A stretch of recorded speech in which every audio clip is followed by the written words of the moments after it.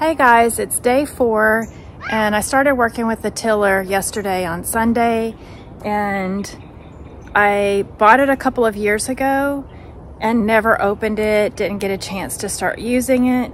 And you see these rocks, the tiller just chunked them right out, no problem at all.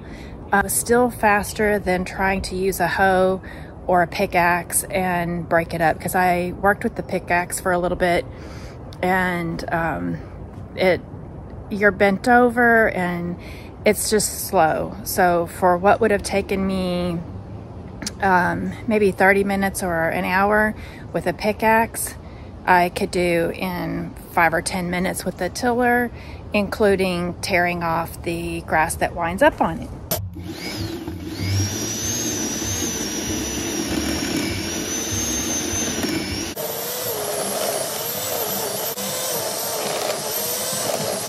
Um, so that was that. I was really impressed with um, it chunking out those rocks. And a tip is I'm tilling with the ground very dry.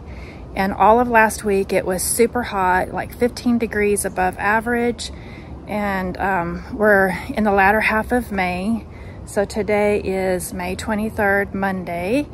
And this week we are now cooler and it's one o'clock and it's 72 degrees, but very cool. And we have a chance of rain every day this week. So waste not, want not, I am going to finish tilling this at least for the first couple of inches worth and rake out any of the large debris.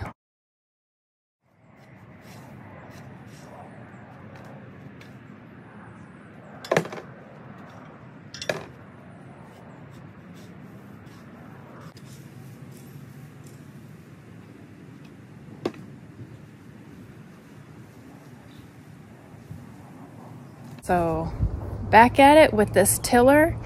Um, and I, I don't get paid for anything, but it just happened to be a Sun Joe is the model that I got. And a couple years ago, it cost me, I think around $150. I have no idea what they cost now. I bought it, it was in the box and things happened and I never took it out to get started with it but it's it's pretty easy and um, you've seen some of the other clips or they'll be in this video. My compost bin is full now and I keep water in five gallon um, buckets. Anyway, keep watching.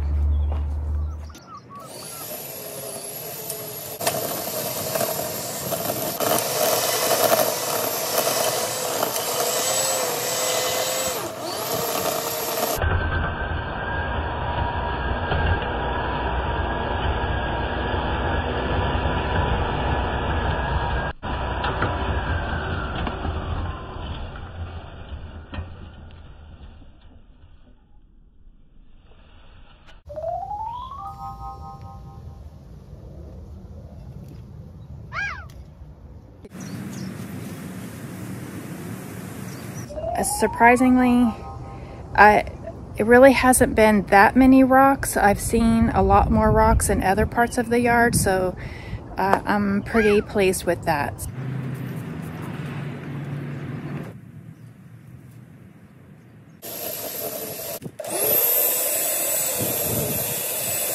I'm just starting this afternoon. I got busy this morning and so today is the first full day that's been dry and I have the next step in my garden to do, which is to put down cardboard. But all of this overhang uh, from these sucker trees that are growing on my fence line, all of that will be trimmed back once I'm ready to start planting. But in the meantime, while I'm preparing the ground and adding uh, my compost and things, the cardboard that I'm about to put down today, I am going to appreciate having some extra shade. And then once I'm ready, then I will cut back. I'm literally going to cut down a couple of these completely. They are kind of, they're crowding into the, the power lines that go through the alley anyway. So I need to take them down. That was a squirrel. I think squirrels are so funny because they if you don't catch them, they kind of sound like a monkey or something. but he's up there. I hope he doesn't um, shop my garden for too much food, but I am not a stingy person. I'm willing to share a little bit. Just don't take too much, leave some for me. And I have all of this cardboard right here, and I have more cardboard on its way. Um, my husband works for a company that they repair restaurant equipment and they sell parts for that equipment. So sometimes they have really big cardboard and I didn't have to dumpster dive to get it. So um, anyway, he was very sweet and brought it to me and he has some more coming on the way. So I'm excited for these big pieces of cardboard that's a lot less gaps. And But if not, any side of, size of cardboard, cardboard, if I can talk, any size of cardboard will do, just overlap the edges. But just wanted you to see how big some of these boxes are. So it's, it's really big.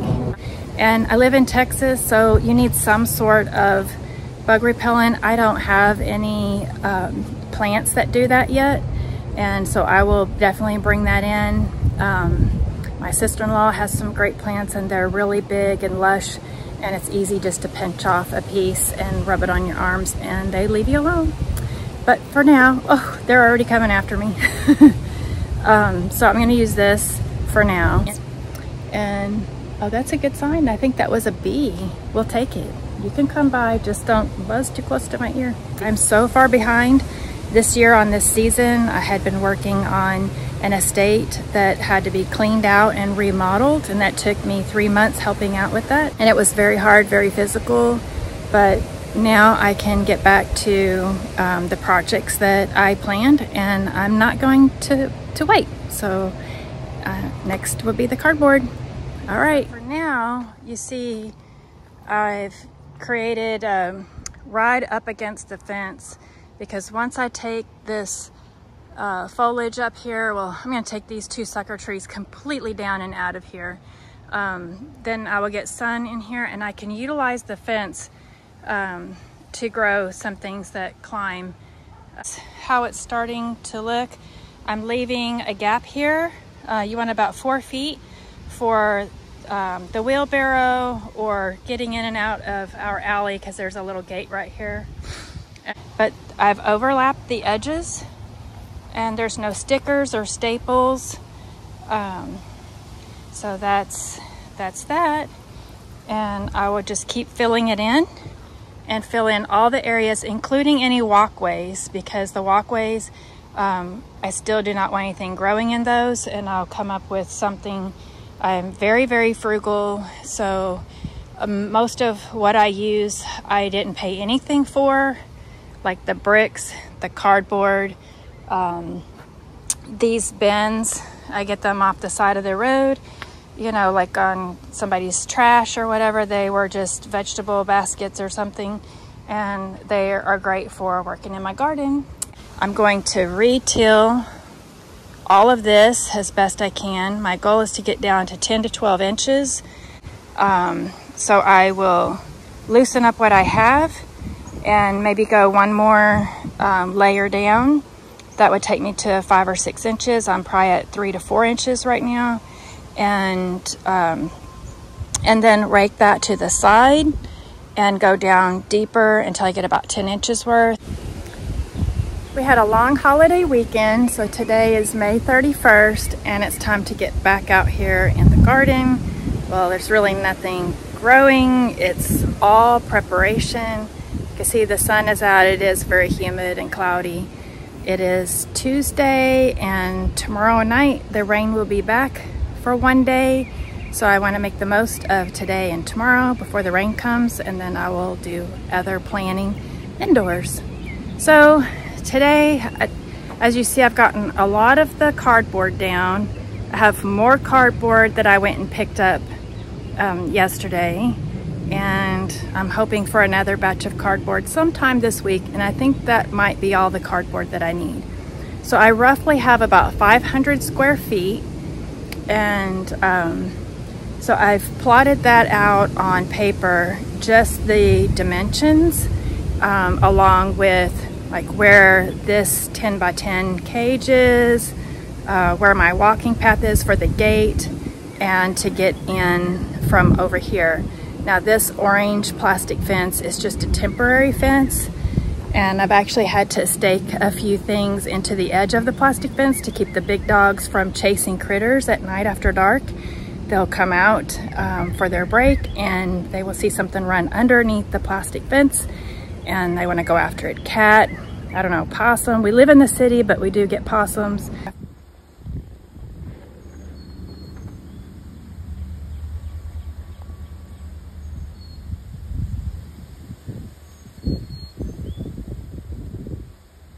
Um, and of course you have other critters, but the nighttime stuff would either be a cat or a possum.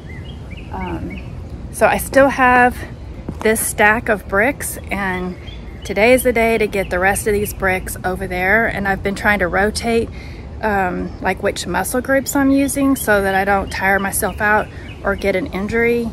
Um, and once you're just constantly working in your garden, that's probably less likely. Um, but I went from no garden to cleaning up a neglected backyard and then prepping for a garden that's 500 square feet. It's not gigantic, but it's a pretty good sized garden for a city lot.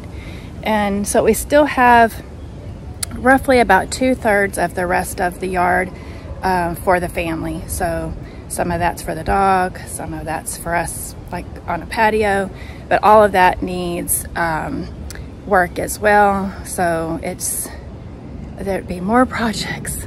Um, it's really a lot of shade um, and very dry Texas heat. We've had uh, drought conditions for quite some time now. And so if you don't get back out to the back part of the yard, um, then it doesn't get watered. So, but you know, that old saying like the, the back 40 or the back 20 or whatever, that was back when people had acreage and my grandparents from both sides had acreage um, either when they were young or all the way through and you know until they were old. Um, but no acreage now but I am not going to waste what I do have and make it functional and have have some vegetables out here. So let's see what my progress is today okay I started tilling um, for the second round and it is a chore if this isn't something you do on a regular basis and I'm pretty fit. Um, but yes, it's an arm workout. Your hands will get tired before your arms and you can feel it like in your feet because you're resisting the pull.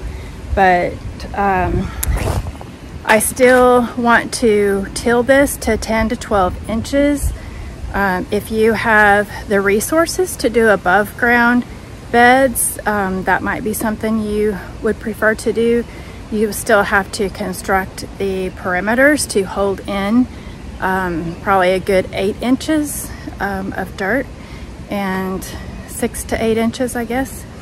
And, but I had a snafu, so I have a temporary fence that's made out of plastic and there are tree roots coming up. Um, so here's one tree root right there, and here's another one right here. Um, so yeah, these are from the sucker trees. They are awful trees. The roots run, I'm sure, deep and shallow, but the roots keep popping up in my way.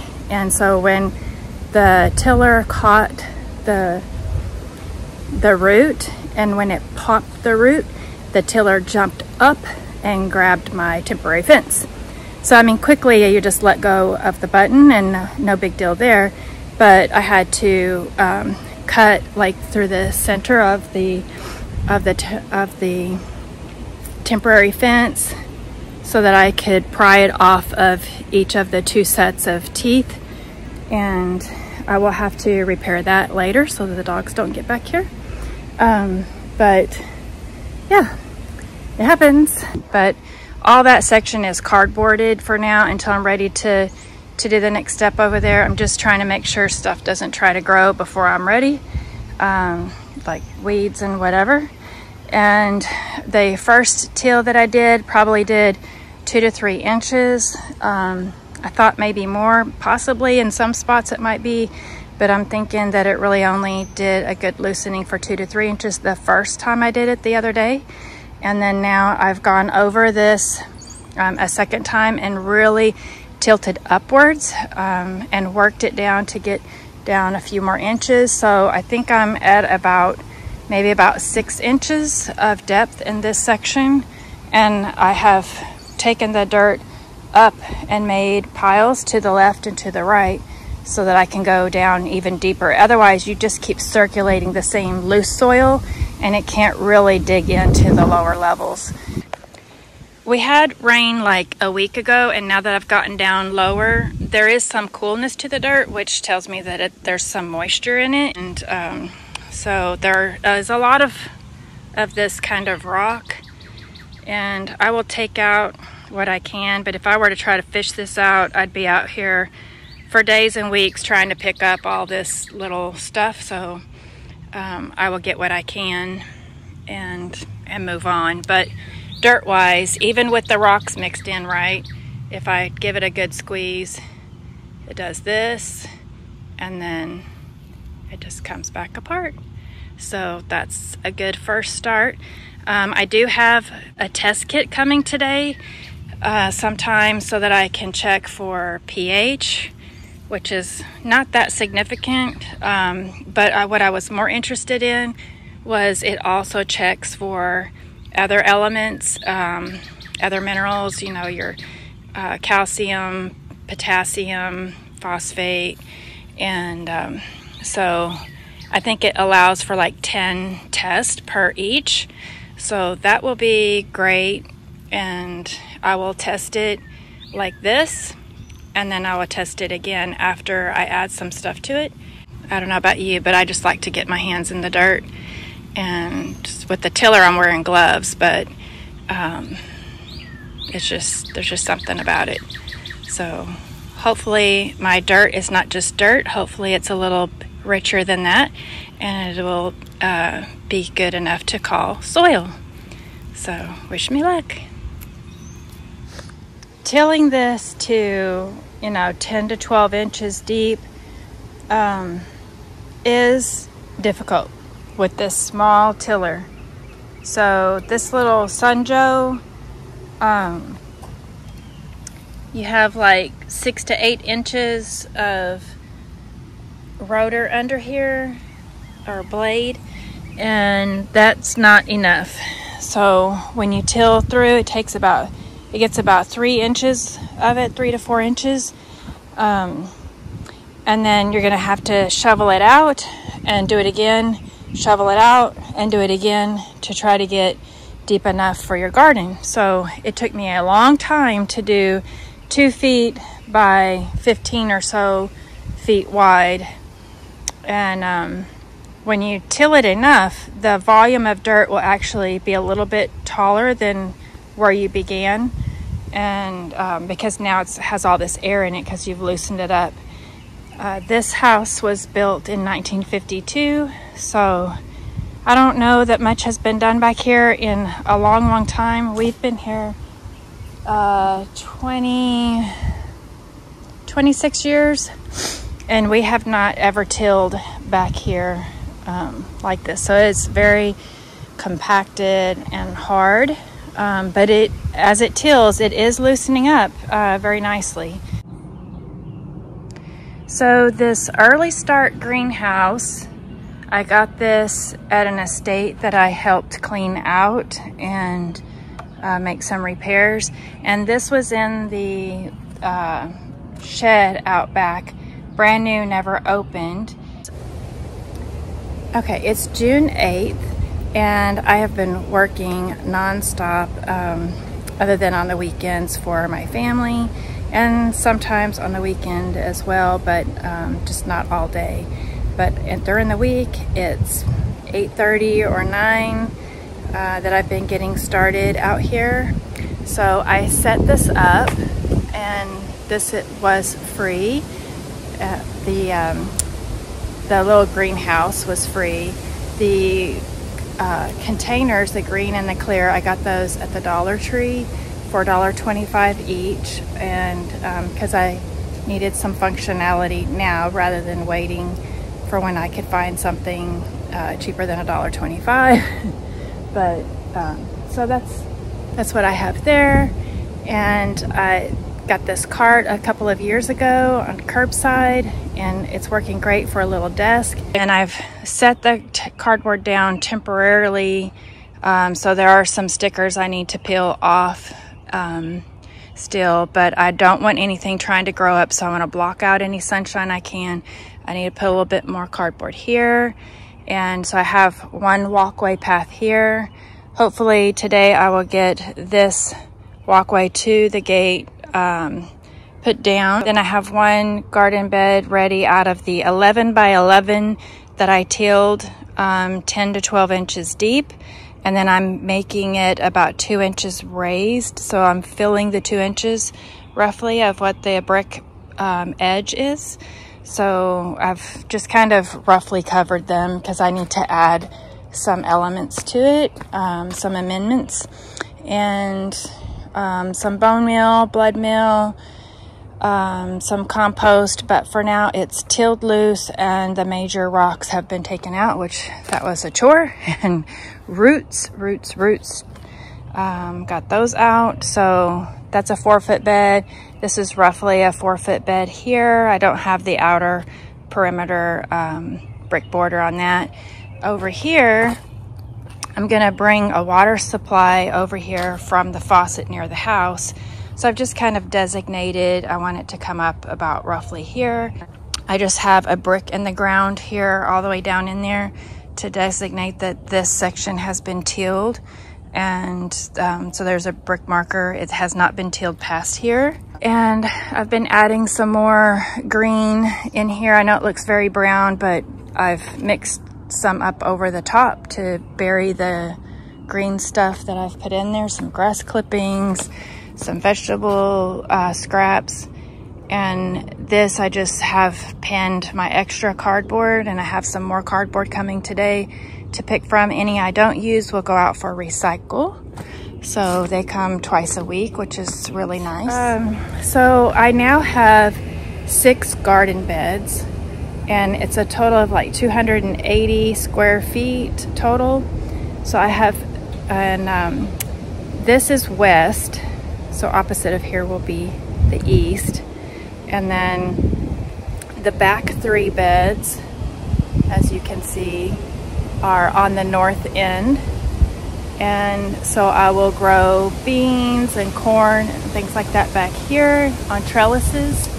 And then the front three beds, as you can see here, and I have cardboard on a couple of them so things don't start sprouting up. I just finished this third last bed. These two beds are four by 11 and the other is seven by 11. So 77 square feet at the end. And so I have these six beds and you can see I have some walkways all the bricks I got free um, I just put a thing on the Nextdoor neighborhood app and told people that I would come pick up their bricks and most of the bricks around these beds have cement um, inside the holes because it was already constructed into something at some point and uh, but it's I think it'll work great because it's going to contain a lot of my rain and watering that I do so it doesn't just run out too quickly into my walkways and on the tips of them because my yard slightly slopes from the north um, to the south. So on the tips of, of the beds I put bricks that have holes in them so that drainage can run forward to the front. Um, I went to the feed store and there wasn't a lot of options for me. They were sold out of a lot of stuff. So for now, for my walkways, I got this compressed bale of Timothy grass and um, I'm gonna spread that in my little walkways and um, hopefully have something clean and then I can um, compost it when it degrades too much and I need to replace it and that's what I've got going on.